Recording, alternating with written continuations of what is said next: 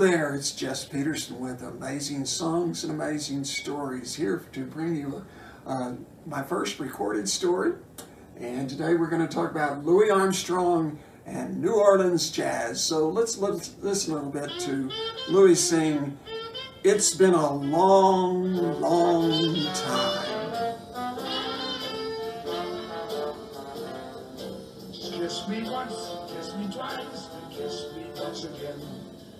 Been a long, long time. Haven't felt like this, my dear, since can't remember when. It's been a long,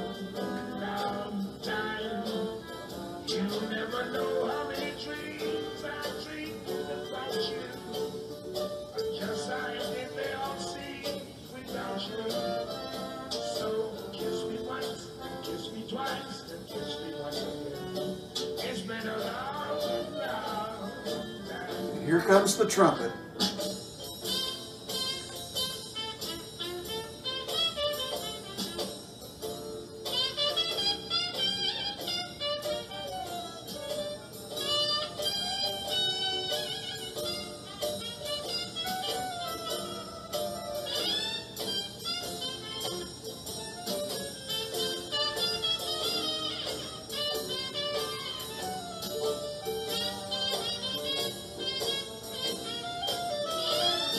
So kiss me once and kiss me twice and kiss me once again. It's been a long, long time. Take it. Kiss me once, kiss me twice, kiss me once again. It's a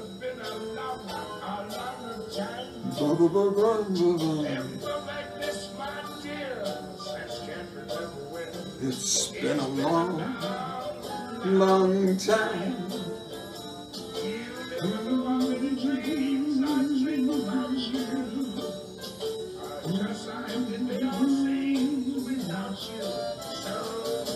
Kiss me once and kiss me twice and kiss me once again. It's been a long, long time. Oh yeah. So let's look a little bit history of New Orleans and New Orleans jazz, and we'll get back to Louis Armstrong here in a minute.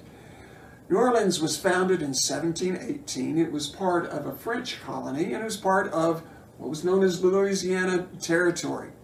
These territories were ceded to Spain in 1763 and then they were uh, sent back to France in 1803. France didn't keep them long before they sold them to the United States.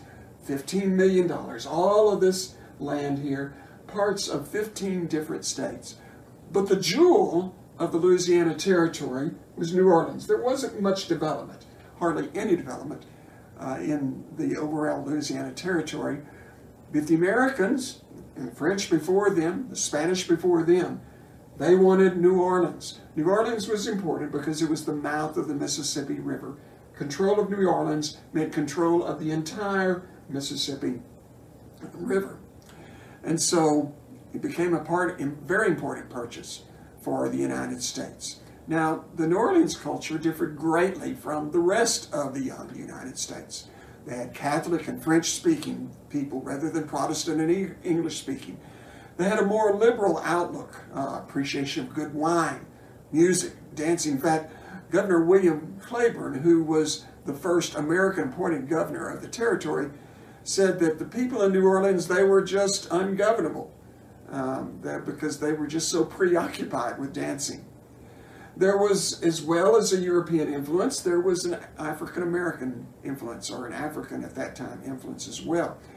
As early as 1721, enslaved West Africans totaled 30% of the population in New Orleans. By the end of the 1700s, people of African descent, both free and slave, made up more than half the city's population. Many of these had arrived through the Caribbean, and so there was not only the culture from West Africa, there was the West Indian Caribbean culture as well. After the acquisition of the Louisiana, uh, the English-speaking Anglo and uh, African Americans began flooding into New Orleans. Now, the, the city had been built around the old French quarter, Uh, but as these new people came in from America, both Anglo and African Americans, there was uh, some some cultural friction, and so they began to to settle more uh, upriver in, in, a part that became to be known as Uptown. This is uh, New Orleans today, and you can see the French Quarter is right here. This Uptown area is right here. The influence of, of black Americans brought uh, elements of the blues, spirituals, rural dances to, to New Orleans. Um, the, but you also had a, a, great concentration of European immigrants, and this was sort of unique to the South.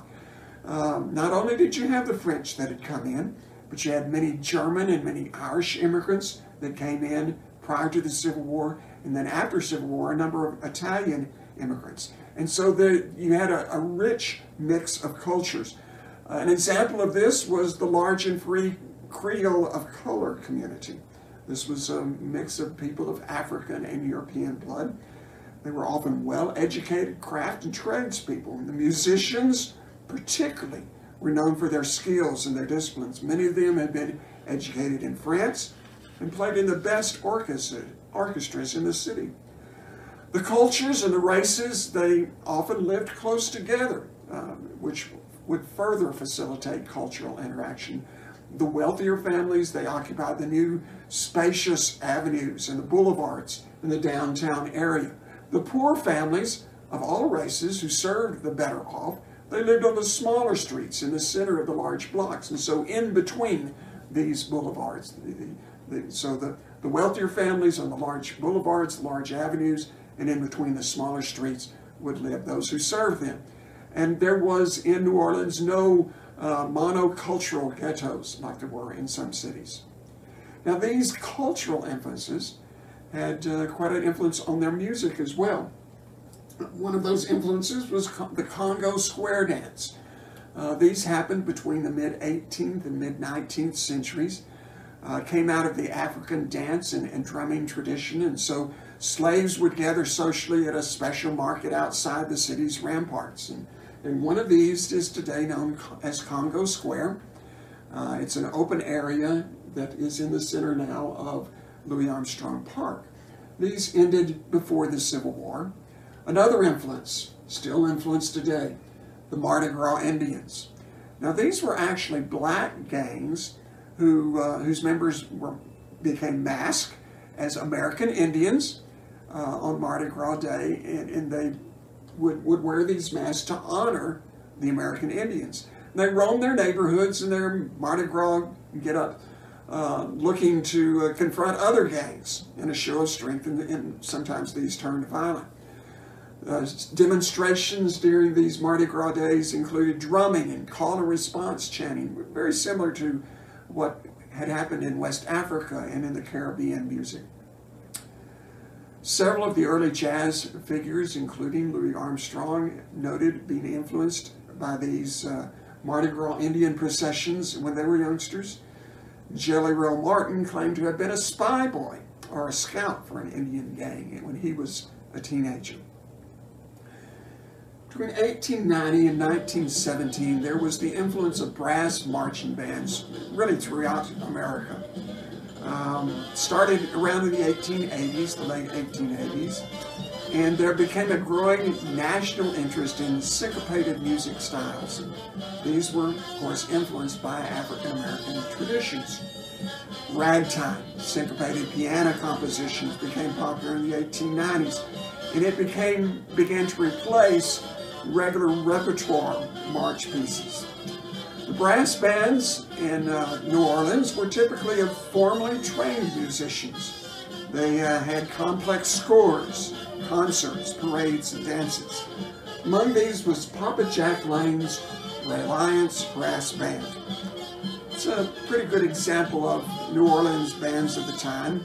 This band was active between 1890 and 1913. It was an integrated band, uh, band before segregation pressures increased became the most well-known of the white ragtime bands. Uh, Lang was a promoter of the first generation of white jazz musicians. These bands had a special relationship in New Orleans with uh, another society known as the Mutual Aid and Benevolent Societies. Now, these were mutual aid and benevolent societies were common among ethnic groups in the urban areas in the late 1800s. And their purpose was to help the sick and to bury the dead. Uh, they were especially important for emancipated African Americans who had limited uh, economic resources. These organizations were different than other organizations that uses brass bands and parades and concerts and political rallies and, and funerals. They had their own expressive approach, uh, which still continues today, uh, in, in, which the community celebrants would, would join in uh, exuberant dancing in the procession uh, as these bands marched along with the funeral procession. Louis Armstrong in Satchmo, My Life in New Orleans, described these. He said, The funerals in New Orleans are sad until the body is finally lowered into the grave, and the Reverend says, Ashes to ashes and dust to dust. After the brother was six feet under, uh, under the ground, the Branton band would strike up one of those good old tunes like Didn't He Ramble? And all the people would leave their worries behind, particularly when King Oliver blew that last high chorus in high register. Once the band starts, everybody starts swaying from one side of the street to the other, especially those who dropped in and follow the ones who'd been to the funeral. These people are known as the second line, and they may be anyone passing along the street who wants to hear the music. The spirits hits them, they follow along to see what's happening. Now, the bands were also used by Mardi Gras walking clubs. Here's a picture of the Jefferson Street Buzzards uh, organized in 1890. So one of the original walking clubs at Mardi Gras, along with the Cornet Carnival Club. They, as you also are still in existence today. Now, the third turn of the century, uh, New Orleans was a thriving major sea and river port. It was also a major entertainment center. This is the old French Opera House on Toulouse and Bourbon Streets. It was built in 1859, the cost of $118,000, and, and it was the cultural center of the New Orleans Creole Society and the, and the first opera house in America.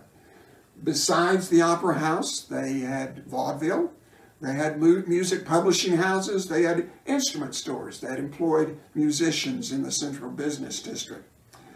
Uh, the less legal establishments flourished in the red light district in New Orleans. And along Lake Pontchartrain, bands competed for audiences at amusement parks. And then there were street parades, community social halls, uh, the corner saloons that held dances almost nightly. The non-reading musicians began playing more improvised music. They began drawing larger audiences. This is Charles Buddy Bolden and his band. Uh, they were uh, active between 1895 and 1900, and they began uh, incorporating blues and increasing the tempo of familiar dance tunes. Buddy Bolden is credited by many early jazzmen as the first musician to have his own distinctive style. The improvised music began to bring trained and untrained musicians into bands together. Now, the segregation laws began to increase about this time, but these laws actually ultimately united black and Creole uh, of color musicians. They began combining the, the uptown improvis improvisational style with a more disciplined Creole approach. This uh, jazz began to uh, mature between 1917 and the early 1930s.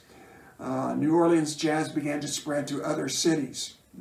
Riverboats, vaudeville and minstrel uh, and other shows began to make, make tours. This is the original Creole Orchestra featuring Freddie Keppard. Uh, it was an important early group that left New Orleans, moved to Los Angeles in 1912. They toured in the Orpheum Theater circuit, had gigs in, in Chicago and, and in New York. And, these two cities, Chicago and New York, became really the main markets at, at that time for New Orleans jazz. In 1917, the original Dixieland Jazz Band under Nick LaRocca cut the first commercial jazz recording. They were playing in New York City and were enthusiastically received, and, and they recorded and released on Victor Records the Livery Stable Blues, as you can hear here. It, it was an unexpected hit. Nick LaRocca was actually of Sicilian lineage, and he was the leader of the band. In a 1958 interview, he says the Livery Stable Blues became a national hit. It was all over the world, even down in Honolulu, where all, Amer- where, all where American forces went. We entertained over a million men. I played on the bill with Caruso. I played on bills with Jolson. I played on bills with Eddie Cantor. Now, you may know Nick LaRocca for another uh, composition which is better known, and that's Tiger Rag. Jazz New Orleans style suddenly became a national craze. Employment opportunities in the North coaxed more musicians to leave New Orleans.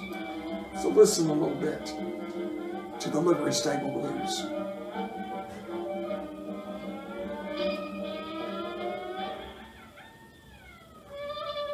Ah, hear the horses?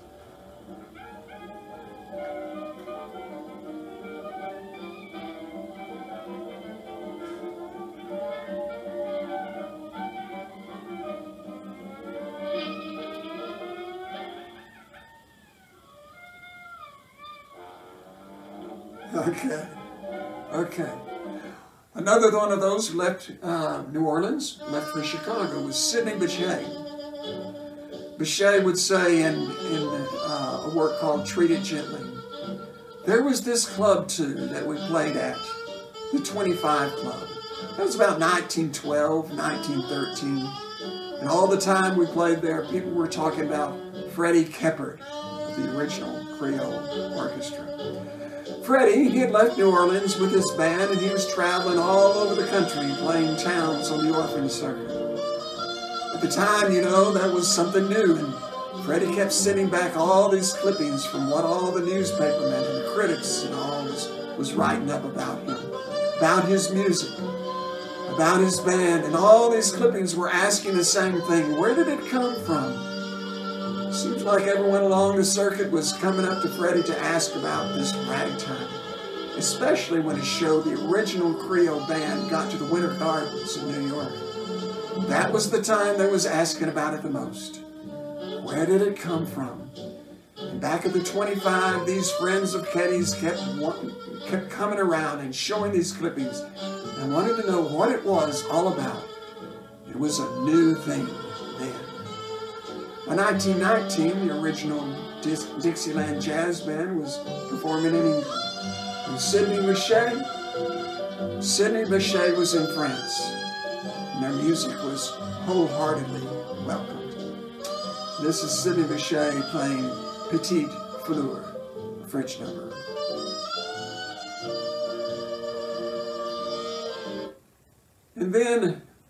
There was Warren Baby Dodds, who left New Orleans in 1918. Warren Baby Dodds was one of the most important early jazz drummers. Joined a riverboat band, playing along from uh, New Orleans to St. Louis, and sometimes further north, and then he later went to California. In the Baby Dodds story, he talked about the mixed races in New Orleans. He said, Big Eye Louis Nelson lived downtown, and I lived uptown. He was on the north side of town, and I was living on the south side. In other words, he was a Creole and lived in the French part of town. Canal Street was the dividing line. The people from the different sections didn't mix. The musicians mixed only if you were good enough. But at one time, the Creole fellows thought uptown music musicians weren't good enough to play with them because most of the uptown music, musicians didn't read music. Everybody in the French part of town read music. So there was some separation there. And this is Pops Foster. He was a bass player. He was noticed, noted for vigorous um, slap bass, which is basically, yeah, you're slapping the bass. You're, you're trumming it, but you're also you're slapping it. Pops Foster was almost full-blood Cherokee Indian. He was born on a nearby plantation. His family moved to New Orleans when he was 10. 1921, he moved from St. Louis, from to uh, St. Louis and then later to Los Angeles, and in 1929 to, to New York City. He talks in the autobiography of a New Orleans jazzman and says, from about 1900 on, there were three types of bands playing in New Orleans. You had bands that played ragtime, ones that played sweet music, and ones that played nothing but blues. A band like John Robichaux's played nothing but sweet music, played the dirty affairs. On a Saturday night, Frank Dusen's Eagle Band would play the Masonic Hall because he played a whole lot of blues. A band like the Magnolia Band would play ragtime, work the district. All the bands around New Orleans would play quadrilles starting about midnight. When you did that, nice people would know it was time to go home because things got rough after that. Pops Foster. And then there was Jelly Roll Martin. Jelly Roll Martin was a jazz pianist, like Nat King Cole was. He was a Creole. He began his career playing in a brothel in New Orleans. His grandmother found out, kicked him out of the house. He said, when my grandmother found out that I was playing jazz in one of the sporting houses in the district, she told me that I disgraced the family and forbade me to live at the house. She told me that devil music would surely bring my downfall, but I just couldn't put it behind me. 1915, the Jelly Roll Blues came out. This was the first published jazz composition. Jelly Roll Morton claimed to have invented jazz himself in 1902, uh, and his work certainly set the age for the swing era. He talks about New Orleans parades in Mr. Jelly Roll. You see, New Orleans was very organization-minded. I've never seen such beautiful clubs as they had there. The Broadway Swells, the High Arts, the Orleans Aids, the Bulls and the Bears, the Tramps, the Iroquois, the Allegros. That was just a few of them. And those clubs would parade at least once a week. They'd have a great big band, and the Grand Marshal would ride in front with his aides behind him, all with expensive sashes and streamers. Jelly Roll Martin. King Oliver. King Oliver had led popular bands in New Orleans, and in 1922, he established a trend-setting Creole jazz band in Chicago. There's a picture of them. Band members included at one time or other King Creole, King Oliver himself. He played cornet. Kid Oldring played the trombone. Lil Hardin, she played the piano, later Jelly Roll Morton played the piano. Baby Dodds on the drums. And Louis Armstrong. Louis Armstrong played second cornet. And he was perhaps the most significant departure from New Orleans. Now, Louis Armstrong was born in August 4th, August 4th, 1901. Now, he claimed throughout his life that he was born on July 4th, 1900, uh, an examination of his baptismal records in the mid-1980s showed otherwise. In fact, I have an album of Louis Armstrong, and it gives a little history on the back of it, and it says 1900, July 4th, 1900. Wasn't proved until 1980 that he was born in 1901. He was born in a poor family. Uh, he was the grandson of slaves. His father abandoned the family when Louis was an infant, and he took and she, he took up with another woman. His mother also left him and his sister in the care of his paternal grandmother, and at times his uncle Isaac. At five, he moved back in with his mother and her relatives, and, and uh, he never saw his, his father much after that, only in parades. He attended the Fisk School for Boys, um, and there he got his first exposure to Creole music. As a youngster, he worked as a paperboy. He also found discarded food and sold it to restaurants. His mother worked as a prostitute. Louis hung out at, uh, hung out at dance halls that were close to home. He would haul clothes to Storyville, which was the famed red light district in New Orleans, listening to the bands that played in the brothels and dance halls, especially the Pete Lala's, where Joe King Oliver performed. At age 11, he dropped out of the Fisk School, joined a quartet of boys that sang on the streets for money. He was taught to play the cornet. He was taught to play by ear at, by, at uh, Dago Tony's Talk by cornet player Bunk Johnson. And he started getting into trouble. Now, he didn't look back at his early life as the worst of times. He, uh, he instead drew inspiration from it. He said, Every time I close my eyes, blowing that trumpet of mine, I look right in the heart of good old New Orleans. It's given me something to live for. He also worked for a Lithuanian Jewish immigrant family, the Karnofskis. They had a junk hauling business and, and he did odd jobs for them. They treated him as a family member and he saw the discrimination that they received from other white folks other that, that were there. Uh, and, and so Louis Armstrong wore a Star of David pendant for the rest of his life. And later in his life, he created the uh, Karnofsky Project in New Orleans.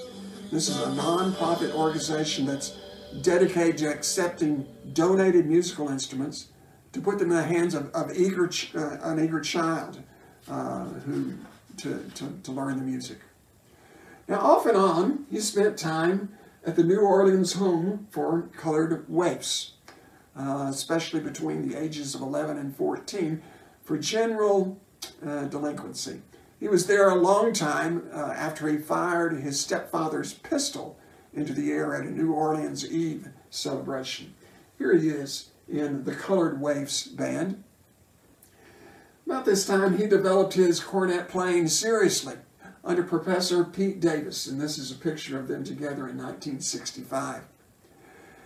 Um, Pete Davis uh, frequently came to the home uh, at the request of the administrator, and, and he eventually appointed Louis as the band leader for that band there. Their band played around New Orleans, and Louis, at the age of 13, began to draw attention for his cornet playing. At the age of 14, he was released from the home, lived with his father and stepmother, and then back with his mother, also back to the streets and their temptations. His first dance hall job was at Henry Ponce's, and Black Benny became his protector and guide. So he would call cold by day and play his cornet by night. Also played frequently in the, in the city's um, parade bands, brass band parades. He listened to the older musicians, especially Joe King Oliver. Uh, Joe King Oliver began acting as, as his mentor and a father figure to him. And later he played in brass bands on riverboats and started traveling with the Fate Mar- Marable Band, which toured uh, up Steamboat up and down the Mississippi River. March 9th, March 19th, 1918, he married Daisy Parker Armstrong. Daisy was from Gretna, Louisiana, and they adopted a three-year-old boy called Clarence. Um, Clarence was, um, uh, his mother was a cousin to Louis Armstrong, and she had died giving birth. Now, unfortunately, Clarence became mentally, mentally disabled. He had fallen off his, a porch as a child and, and hit his head. But Louis spent the rest of his life taking care of him. Clarence would die in 1998 at the age of 83, and he was known as Little Louis Armstrong, and, and he followed Louis around through most of his career uh, until later in his life he, was married and, and uh, moved to the Bronx in a, in a marriage of, of convenience. His marriage to Daisy uh, failed quickly, and they separated, and, and Daisy would uh, die just a short time after the divorce. But his musicianship began to mature. At age 20, he could now read music, and he started to be featured uh, in extended trumpet solos. he was one of the first jazzmen to do it, and he, he first he began injecting his own personality and his own style into solo runs, and, and started using singing and patter uh, in his performances. In 1922, Joe King Oliver invited him to join his band in Chicago, and so he joined the Exodus from New Orleans. This was a boom time, time in uh, Chicago. Uh, the race, race relations were poor, but for a musician, um, it, there was a time teeming with jobs. Plenty of money for those uh, for people to spend on entertainment. Louis lived like a king. he had his own apartment. He had his own private bath for the very first time. And he met and married his second wife, Lil Hardin Armstrong. She was a pianist. Lil had played, uh, had Louis played classical music in church concerts. She wanted to broaden his skills and improve his solo playing. And she prodded him to wear more stylish attire to make him look sharp and, and better offset his, his growing girth. She didn't treat Clarence very well. Um, she claimed uh, that the adoption was not legally carried out, so, so it wasn't really his. But um, she, was, she pushed uh, Louis very much. I mean, she was definitely the boss of the family. She wanted him to, to seek more prominent billing, develop his, his newer style away from the influence of King Oliver, and so they left Chicago, went to New York, and they played for the Fletcher Henderson uh, Orchestra. Uh, and, and Louis is right here, third from the left. This orchestra was the top African American band of the day, and at this time was time that Louis pretty well switched permanently to trumpet to, to blend together better with the orchestra. His act would include singing and telling tales of New Orleans characters, and they also made some recordings on the side. 1925, Louis and Lil returned to Chicago. Lil wanted to pump up his career and income. First, he was a member of Lil's own, own band, the Lil, Armstrong, Lil Hardin Armstrong Band. So he was working for his wife. He also played with Erskine Tate's Vendome Symphony. Now, now this symphony furnished music for silent movies and live shows, including jazz versions of classical music, such as Madame Butterfly. About this time, he began scat singing, that uh, improvising vocal jazz uh, with with nonsensical words, and you'll hear this in a little bit in uh, Up the Lazy River that, that's playing now. Now he wasn't the first to use cat, scat singing, but he was among the first to record it. 1926, the symphony recorded Heebie Jeebies. It was so popular that the group became the most famous jazz band in the United States. They hadn't, before that time, played much in public. 1929, Louis and Lil returned to New York. They played in the pit orchestra the, the successful musical Hot Chocolate, which was an all-black review. Louis made a, a cameo appearance in the show, regularly stealing the show with his rendition of Ain't Misbehaving. He started to work at Connie's Inn in Harlem. Now, Connie's was the chief rival to the Cotton Club. He also began having some success with versions of Hoagy Carmichael's songs. His version of Carmichael's Stardust became one of the most successful versions ever recorded of the song. He began developing crooning sound of artists like Bing Crosby. In his Lazy River was a huge influence on, on younger singers like Bing Crosby. During the Depression era, in the early 1930s, this was especially hard on the jazz scene. Louis moved to Los Angeles and played at the New Cotton Club with Lionel Hampton. Drew, a, drew the Hollywood crowd, which could still afford a lavish night on uh, lavish night life. 1931, he appeared in his first movie, Ex-Flame. He was also that year convicted of marijuana use but received a suspended sentence. Now, Louis had, through a significant part of his life, a problem with the mob. He was associated with clubs in South Chicago, as were the mobs. Louis had actually met Al Capone, and he performed in a club that was owned by Al Capone's brother. In 1931, Louis returned to Chicago. The mob insisted he get out of town, so he visited New Orleans. Got a hero's welcome there and saw old friends, sponsored a local baseball team known as Armstrong's Secret Nine, and he had a cigar named after him. But soon he was on the road again, touring the country, shadowed by the mob. He decided to go to Europe to escape. He returned to the States later, short of cash, Um, breach of contracts followed him, plagued him around. And he hired Joe Glaser as his new manager. Now, Joe was a tough, mob connected wheeler dealer, and he began to straighten out his legal mess, his mob troubles, and his debts. 1936, he appeared in the movie Pennies from Heaven with Bing Crosby. 1937, he substituted for Rudy Vallee uh, on the CBS radio network. Um, now, he became, there, therefore, the first black to, to, uh, to host a sponsored national broadcast.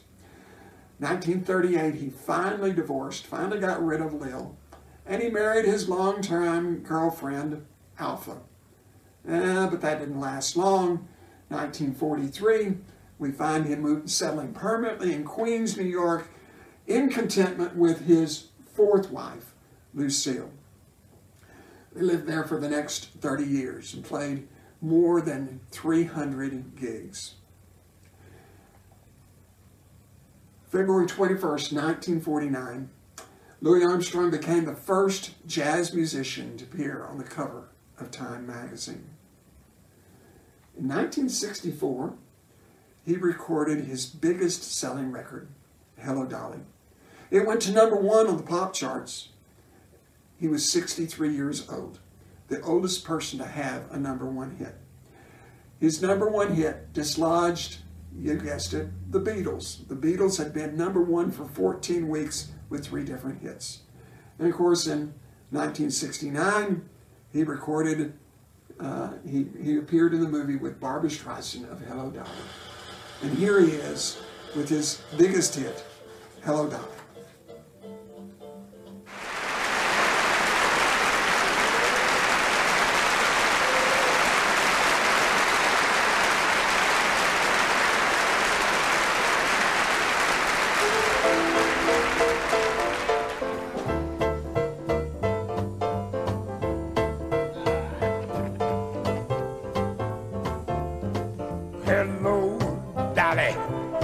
This is Louis Dolly. Funny glad to have you back where you belong. You looking swell, darling. I can tell, darling. You keep growing, you're still growing, you're still going strong. I feel the room swaying and the band playing. One of our favorite tunes from way when. So take off rap fellas, and then do an empty lap fella. Darling, never go my way again.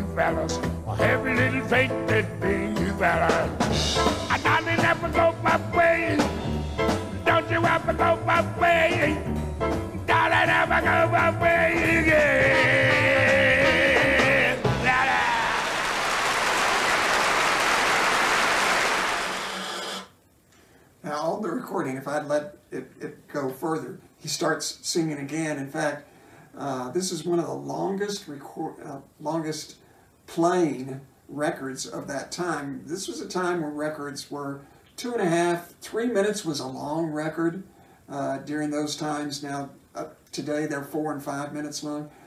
This uh, this record, this recording lasted six to six and a half minutes, and so this is It was a, a long thing. Now, Louis would appear in more than a dozen movies. Uh, he would usually play the band leader or a musician. His most familiar role was the band leader in High, Society with Bing Crosby. As far as his personality go, he was, uh, in, in some of the things that he did outside of jazz, he was a major financial supporter of Martin Luther King, Martin Luther King Jr., and other civil rights activists. He um, had strong criticism of President Eisenhower because of his inaction during the conflict over the schools in uh, Little Rock, Arkansas during desegregation. He actually canceled a tour to the Soviet Union that was sponsored by the State Department during that time. The FBI kept a file on him for his outspokenness about integration. As far as religion goes, well, he would always answer that he was raised a Baptist, but he also always wore a Star of David from, uh, in memory of the Karnofsky family, and he was friends with the Pope. He, uh, he knew both, uh, had met both Popes uh, Pius XII and Paul VI. In fact, he was baptized, baptized a Catholic at the Sacred Heart of Jesus Christ in New Orleans when he was young. he seems to be uh, had been tolerant of various religions, and he also found a lot of humor in them. His nickname Satchmo, or Satch, was for satchel mouth. Now this described his embouchure. Now that's that's the way uh, a musician applies his mouth to the mouthpiece. And he had a very high pressured embouchure. He would push quite a bit uh, against that trumpet, against that cornet earlier, and it actually damaged uh, his, his, his mouth some to where he couldn't constantly play. And so that's one reason that he began emphasizing his singer, singing career, to, to give his mouth a, a time to rest. At times he would just be unable to play at all. Early on, he was also known as Dipper Mouth. Uh, he had a propensity for refreshing himself with the dipper or, or ladle uh, that uh, came out of a bucket of sugar water that was always present on the stage with uh, King Oliver and his band in Chicago in the early 1920s. Louis Armstrong was generous. Uh, he, he gave away as much money as he kept for himself.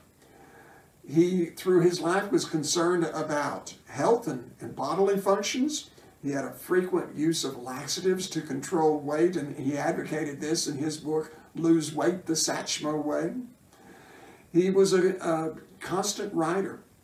Uh, his favorite themes included music, sex, food, childhood memories, his heavy medicinal marijuana use, and, and even his bowel movements he wrote about. He had a very fondness for lewd jokes and dirty limericks. Louis Armstrong died July 6, 1971, of a heart attack, one month shy of his 70th birthday. He's buried in Flushing Cemetery in Queens, in New York City. Honorary pallbearers for his funeral included Governor Nelson Rockefeller, Mayor Lindsay, Bing Crosby, Ella Fitzgerald, Guy Lombardo, Duke Ellington, Dizzy Gillespie, Pearl Bailey, Count Basie, Harry James, Frank Sinatra, Ed Sullivan, Johnny Carson, David Frost, Merv Griffin, and Dick Cavett. Peggy Lee sang the Lord's Prayer. Now, Al Hibbler sang Nobody Knows the Trouble I See. In 1970, Louis Armstrong was posthumously uh, awarded the Grand, Grammy Lifetime Achievement Award. He has 11 songs in the Grammy Hall of Fame, one in the Rock and Roll Hall of Fame. It's been inducted into eight other Hall of Fames. In 2001, the uh, New Orleans Airport was renamed the Louis Armstrong International Airport. Some of the sayings that Louis made through the years, he says, all music is folk music. I ain't never heard a horse sing a song. If you have to ask what jazz is, You'll never know. Musicians don't retire, they stop when there's no more music in them. There's some people that if they don't know, you can't tell them. There is two kinds of music, the good and the bad. I play the good kind. We all do do, re, mi, but you have to go to find the other notes yourself. What we play is life, and you blows who you is. And I want to close with his wonderful, what a wonderful world.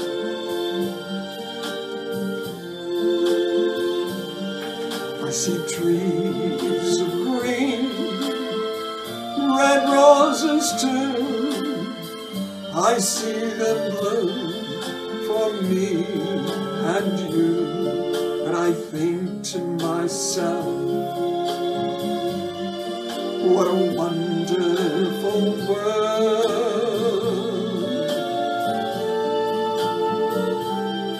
I see skies of blue and clouds of white, bright blessed day, the dark sacred night, and I think to myself, what a wonderful world.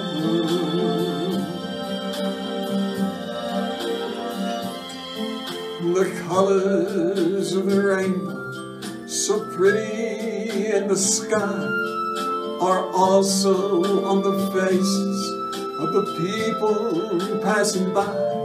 I see friends shaking hands, saying, How do you do? They're really saying, I love you. I hear babies cry. I watch them grow.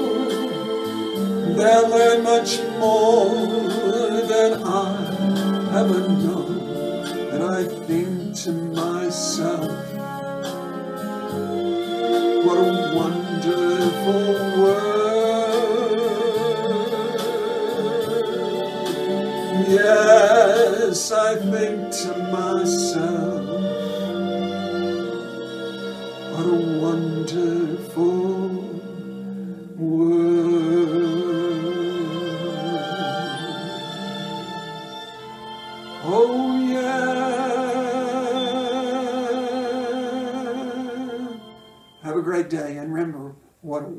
wonderful world.